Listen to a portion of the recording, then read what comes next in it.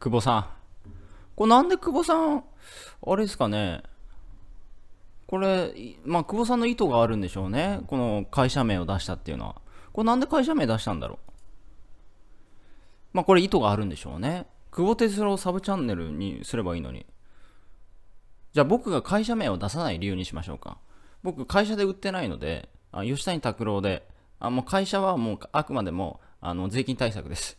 でも吉谷拓郎で売ってるので、会社名をあの知られないっていう、まあ、ほとんど僕の会社名知らないと思いますし、会社名は表に出さないと。てか、出す必要性がないです。吉谷拓郎を売ってるのでね、僕は。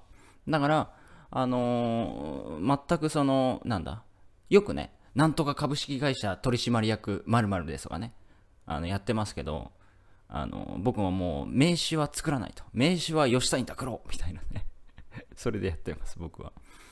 うん、まあこれがね、従業員がいて、まあ今後その自分が離脱してもその会社を残して、なんだろうな、まあ継続して100年企業とか作っていくってことだったら、まあ絶対会社名必要ですけども、僕の会社っていうのは僕で終わりですね。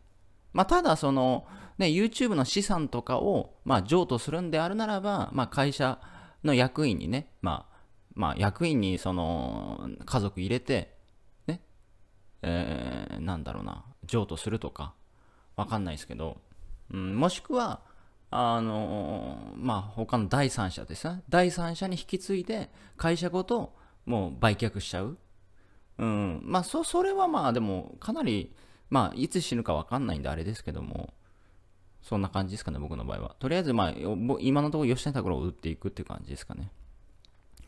はい。ということで、タイトルは、僕が吉谷拓郎です。いってらっしゃい。